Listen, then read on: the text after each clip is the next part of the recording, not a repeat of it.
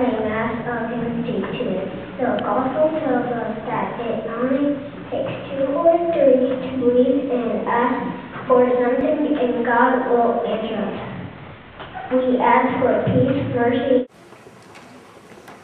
for those who have died and for their families who miss them, we pray to the Lord. Lord,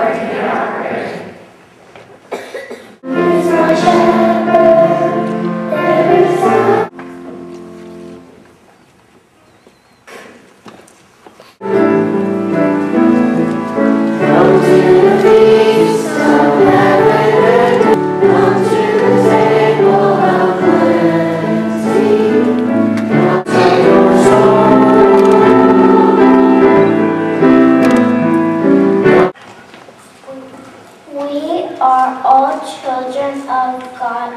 God loves us and forgives us no matter what we do.